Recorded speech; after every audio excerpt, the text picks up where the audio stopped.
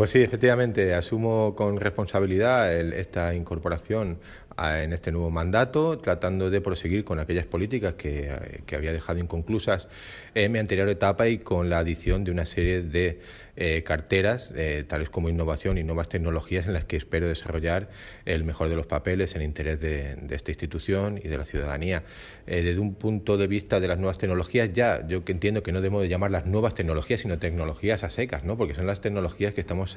abordando ya en pleno siglo XXI y de lo que se trata es que a lo largo de este mandato se pueda implantar de una forma definitiva la administración digital en esta centenaria institución y que realmente dotemos a los trabajadores y trabajadoras de la casa de las herramientas necesarias para una mayor eficiencia y eficacia que redunde en beneficio del ciudadano. En el área de innovación, la pretensión es que La Palma sea una, una isla realmente eh, piloto y pionero. ¿Por qué no? ¿Por qué no puede ser una isla pionera en materias como el proyecto Antares, como Smart Island? Hay muchísimas pequeñas cosas y grandes cosas que hacer para facilitar la vida del ciudadano y en materia de, planificación y ordenación territorial por hacer una llamada al consenso, al consenso de todas las fuerzas políticas representadas en el Pleno de la Corporación del Cabildo de La Palma, ya que fruto del consenso son las grandes políticas que se adelante para la isla. Pongo por, como, por ejemplo, eh, planificación o planes como la Fuente Santa, como la revisión turística, eh, como Volcanes de Aridane, normas que salen fruto del consenso de todas las fuerzas políticas y que al final no están dando bandazos por las alternancias en los equilibrios políticos. Creo que es la clave,